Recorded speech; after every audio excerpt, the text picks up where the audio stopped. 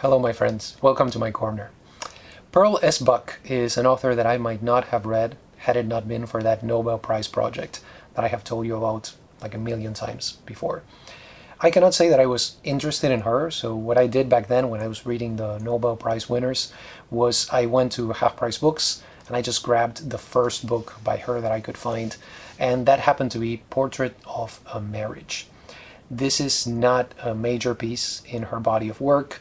It is also set in the US, so as you may know, Pearl Buck is known primarily for her novels of life in China. So I kept telling myself, Jorge, you need to read something that's more representative of her work. Many years later, I read East Wind, West Wind. That did the trick. That was her first novel, and I really, really liked it.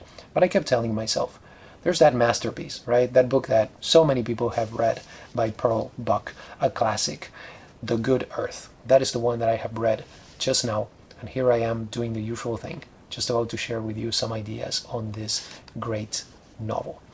Let me give you some quick info about the author and also about the novel. Pearl Buck is a US author, but she spent many years, actually 40 years of her life, living in China, and she left the US for China when she was only four months old. So she actually felt like an outsider in the US. The first time that she visited the US, she felt like she did not belong there or that she did not understand her own country. She was extremely, and I do mean extremely prolific. She has so many books, but it was The Good Earth that actually made her famous. It won the Pulitzer Prize when it was published in the year 1931. That was the publication date. And this novel was also instrumental in getting Pearl Buck the Nobel Prize for literature. Since I mentioned that, let me share with you the citations. So the Nobel Prize was awarded to Pearl Buck, quote, for her rich and truly epic descriptions of peasant life in China and for her biographical masterpieces. Very interesting that those biographical masterpieces are mentioned. Those are a biography of her mother and a biography of her father. Very interesting that the Nobel Committee chose to mention that. But primarily, she is known for her Chinese novels. So what is The Good Earth? The Good Earth is a novel and it basically presents the story of Wang Lung from his origins as a very humble farmer to a very wealthy landowner. And when we meet him at the beginning of the novel, he is living with his father six years after his mother has died and it is the day that he is about to get married. He is going to marry Olan, who is a slave girl who works at the house of Wang. In the course of the novel, we see him facing lots of problems, from natural ones, for example, a severe drought, to catastrophes such as a famine that affects the entire population, and also personal problems. For example, he has a lot of trouble dealing with his family, especially with his uncle and the fam family of that uncle. So this is a great story. Okay, it's a story of rags to riches and all the problems that come with that. Women have a very prominent role in The Good Earth, and in the character of Olan, we actually have a very well developed female character. But this is primarily the story of Wang Lung. Let me tell you a little bit what he is like. I would say that he is humble and proud. Okay, so he does not put on airs because of his origins, but he is also proud of his work because he is also very hardworking. Another important trait that he has, he is thrifty. And it is really this quality, when you pair it with the hard work that he does, that allows him to go from being very humble to being very wealthy in the novel. He is far from perfect, okay, especially when you consider his very complex relationship with his wife, Olan. But at the end of the day, he is a likable character, and we care about him as we read the novel. The style of the novel is very beautiful, and it has something of the myth and of the legend to it. Also, as I read, I kept thinking that maybe there was a type of a biblical style to it, and that is really hardly surprising when you consider that Pearl Buck was actually the daughter of missionaries. That is one of the reasons why she lived in China.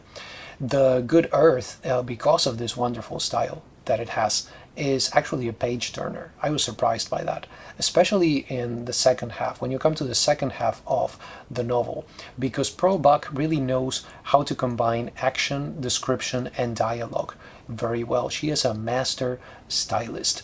The pace of the novel is really quite fast. And another ability that I found in, in this writing, specifically in the writing of Pearl Buck, is that she knows exactly at what moments to pause and then at what moments to push the narrative forward. That is a very rare ability, even in the best writers and the best storytellers. So I think that is commendable, and I thought I would mention that. I have given you a little bit of a general info on the novel. Let me share with you now some themes, okay? I always like to look at important themes. The first one that I want to highlight is the theme of the dignity of work. And one thing you see in this novel is the idea that idleness can only lead to problems. Okay, this happens to Wang Lung and it happens to one of his sons also. They experience the negative effects of idleness. For example, Wang Lung, the moment that he becomes idle, that he stops working, he begins to disparage his wife. His wife is very hardworking, but he begins to treat her poorly because of that. And then his son, also, because he is not working, he becomes melancholy. So, at the risk of stating the obvious, the good earth is really about the redeeming power of the land, because work is really tied directly to the land in this case. The characters, because they are farmers, they actually see the product of their hard work. And part of the message here is that when we are busy, we don't really have a lot of time to become melancholy, right? It's like working keeps you healthy. That's the first thing that I want to highlight. The second one is the idea that money and power corrupt, okay? When Wang Lung becomes prosperous, he stops working and he goes to a tea house. And at this tea house, he meets a woman by the name of Cuckoo, and through her, he meets a woman called Lotus. This is when most of his troubles begin because he actually develops an obsession. It's really lust, okay, which is a theme that you can see throughout this novel. And this leads him to all sorts of poor decisions, and he begins to waste his fortune also because he wants this woman, Lotus, and then he wants to keep her by his side, so he has to spend even more money. In other words, wealth leads him to problems that he did not even have before he became wealthy something that you can see in this novel is the concept that poverty comes with a lot of problems, but wealth also comes with a lot of problems. So it's really up to you to decide, you know, which set of problems you prefer. And lust, by the way, is a concept or a problem that you see throughout the novel. It's really a driving force behind the reasons why the characters act the way they do. You see it in the men, especially, as a kind of a destructive type of inheritance. It's something that is passed from generation to generation, almost, you could say, as a type of original sin. Third important theme that I would like to share with you, that is the rural versus the urban space. This is a novel that is very conscious of that. At one point, Wang Lung has to leave the land. He sees himself forced to do that, and he leaves his land with his family, and they move to the city where they become beggars. This is a very heartbreaking part of the novel. And when he gets there, he notices that the city people laugh at him because he is uncouth, because he is illiterate. But he sees himself as somebody who is simple but who is honest, somebody who is hardworking also. The people who are laughing at him they may think that he is a fool, but they are not landowners. He knows that he is a landowner and he values the land. The land is his life, really. So many of the city people, even though they laugh at him, they do not have that advantage of the connection between the work they do and the land. They are disconnected from the land. And that is something that he realizes, but they do not. And the final theme that I want to place emphasis on is the concept of the gender and the age gaps between the characters. Pearl Buck is great at portraying the differences between men and women, especially in Chinese society, because she knew it very well. Both Wang Lung and Olan are disappointed, for example, when they have a daughter, because they know that in this society, the future of that daughter is not going to be a very positive one. Buck does not really idealize things. Okay, you can see it in this example that I have just given you when they have the daughter, but also you can also see that Olan is clearly subservient. Okay, so socially she is subservient to her husband, but at the same time she is portrayed as hardworking and also a very strong woman, a very thrifty person she gives birth by herself, for example. In all the cases, I lost count of how many kids she has in the novel, but every time she takes care of the whole thing, the whole process, right? Wang Lang is like, I don't know anything about this, I don't understand anything. Olan takes care of everything. Buck is also great. That has to do with the gender, right? But she's also great at portraying the generation gap. You can see it in the relationship between Wang Lang and his sons specifically. And in the moments, for example, when it comes to make the decision whether these sons are going to be educated or not, it seems that education changes the attitude of these characters, the sons, towards the land. That is something to look out for. But you can also see the generation gap when you compare Wang Lang to his father. Okay, there are key moments in the novel where his father offers his, his perspective, and you can see a big difference right there. So those were some themes. Let me share with you some ideas now on the film adaptation, which I have just seen. It was released in 1937, directed by Sidney Franklin. And I don't really have much to say about the movie other than that it is a very good, faithful adaptation of the novel with a few omissions. There are some scenes, some important passages from the novel that were not put in the movie because the movie is long enough at two hours and 15 or 20 minutes or something like that. Now, the movie was actually based on a stage adaptation of The Good Earth.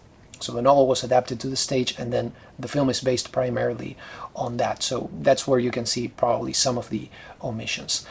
Something that has to be said when we talk about The Good Earth, the movie, is that it is usually cited, unfortunately, as an example of whitewashing.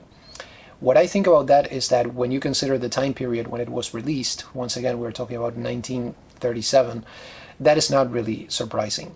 Some people, for example, said that the character of Olan should have been played by Anna May Wong. That would have been fantastic. But back in those days, you even had rules saying that if the lead actor was white, the lead actress had to be white also. So it was really a very complicated situation right there. The actress who played Olan, Luise Rainer, actually got an Academy Award for uh, The Good Earth, for her work in this movie. And the film was also uh, nominated for an Academy Award for Best Picture. Now, that went to The Life of Emile Zola, in which you can also see Paul Muni. So you can probably say that that was a very, very good year for this actor. One thing that I noticed about the movie that I thought was interesting and important was that the ending is slightly altered okay? In in the novel the climax of the novel is basically the ending of the film. That's the best way that i can put it. And the climax in the film it has to do with the locusts and that is not really the part where it is located in the novel. So you could say maybe that they changed the structure a little bit. And perhaps more important than that, I feel that the character of Wang lung is more likable in the film than he is in the novel, at least slightly. So those were some things that I wanted to mention about that. Now there's something very interesting here. I have a book titled My Several Worlds by Pearl Buck. This is one of her autobiographical books. It's very interesting. It turns out that Pearl Buck uh, was just a fascinating woman. Okay, she's a fascinating writer, but she was also fascinating in her life. And as you may expect, she talks quite a bit about the good earth in this book, which I highly recommend, by the way. She tells us, for example, that it took her only three months to publish or, or to write The Good Earth. I'm like, that that is just amazing. Okay, three months. I can probably write like half a short story in three months. And she wrote an excellent novel in that time. But she also gives us a lot of ideas on the novel that I found to be enlightening and that I wanted to share with you uh, because of that. For example, she uh, shares the moment that she began to write the novel. And then she says, my story had long been clear in my mind. Indeed, it had shaped itself firmly and swiftly from the events of my life, and its energy was the anger I felt for the sake of the peasants and the common folk of China, whom I loved and admired, and still do. For the scene of my book I chose the North Country, and for the rich southern city, Nanking. My material was therefore close at hand, and the people I knew as I knew myself. So something, the subject is something, and the people, something that she is very close to. Then she shares some ideas on what the critics thought about her, especially when it comes to awards. So she says, even when the Pulitzer Prize had been awarded The Good Earth, certain critics had objected to so American an award being given to a book about Chinese peasants, written by a woman, and worse than that, a woman who had never lived in her own country. So that has to do with her quality as an outsider in US society, which, if you ask me, is actually something that makes her interesting. One of the many things that make her interesting as an author. And the last little bit that I wanted to share with you from this book has to do with the film adaptation and when she saw it. She says, I did not go to the opening, although I was in New York City at the time, for I dreaded the fanfare and publicity. I waited for a few days and then my husband and I went quietly to the theater and took seats in the gallery. It is an amazing experience to see the characters one has created come alive on the screen, and I was much moved by the effort that had been made, especially by the incredibly perfect performance of Luise Rainer as Olan. She not only looked like a Chinese woman, but she moved like one, and every detail of action, even to the washing of a rice bowl, was correct. When I asked her how she had accomplished this, she told me that she had chosen from among the many Chinese employed on the set for the crowd scenes a young woman whom she thought most like Olan. She had then followed this woman everywhere, watching her until she felt identified with her. When later the film was shown in China, as well as in other Asian countries, where incidentally it was a great success, Chinese friends wrote to me of their surprise and appreciation of Luise Rainer, marveling as I had at the miracle of her understanding. So maybe we should take that into consideration when we talk about the whitewashing, how Pearl Buck felt about this. And let me tell you, in this book she also says that when the novel was turned into a play, she hoped that the, the characters would be played by Chinese people. So she was very conscious of this even back in those days. She also tells us a very funny anecdote. Uh, apparently, when she received the Nobel Prize, the press had announced that she had received it for The Good Earth. So she corrected them. She said, no, it was not for the good earth, but for the body of my work, right? So the press then corrected the mistake and said it was awarded for the body of her work. So apparently some people went to the bookstores asking for a book by Pearl Buck titled The Body of Her Work. I thought that was fantastic, you know, and she shares that in this book also. Final thing, okay, before we end. I forgot to show you the movie, so here it is. So this is the movie as I got it from the library. But it turns out that there is also a graphic novel. So The Good Earth was made into a graphic novel. This was published in 2017 and it was adapted by Nick Bertozzi, okay? So I would say this is very well done, okay? I, I really liked it. At first I was not too thrilled about the uh, background colors. It has a pink and light blue type of coloring. But as I continued to read it, I first first of all I didn't mind at one point, and then at one point I was like, this is actually quite pleasing to the eye, and it goes with the cover that you can see right here. So one thing about the adaptation is that it actually includes plenty of description. It includes plenty of the text from the novel.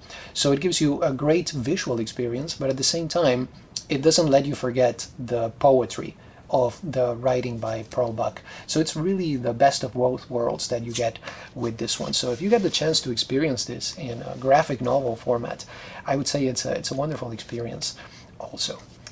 Bottom line, The Good Earth is worth your time. Okay, this is a novel that I believe that you should experience. It deserves to be read, and I'm even going to say it deserves to be reread because as soon as I was finished reading it, I realized, oh wow, there are many scenes right here, many moments many details that really could be examined more in depth and you don't get that from a first reading most of the time. Buck, by the way, continued the story of Wang Lung in two more novels so that The Good Earth became the first part of a trilogy. I personally don't feel like experiencing those novels. I think The Good Earth is powerful enough and I kind of want to keep it that way, you know? If I ever find myself with some extra time, I would be curious to find out what happened to the sons, for example, of Wang Lung. Actually, the second novel in the trilogy is titled Sons, by the way. But as I said, you know, I think that The Good Earth is, is good enough for me at this point. I really enjoyed it. It's really a masterpiece. I think it deserves its status as a classic. So I highly recommend this novel, the movie, and the graphic novel adaptation if you're interested in the story in any of those forms. So do you have any questions, comments, recommendations, recipes? Just let me know. Those were my two cents on The Good Earth by Pearl S. Buck. I hope you enjoyed this video. Thank you so much for stopping by and have a wonderful day.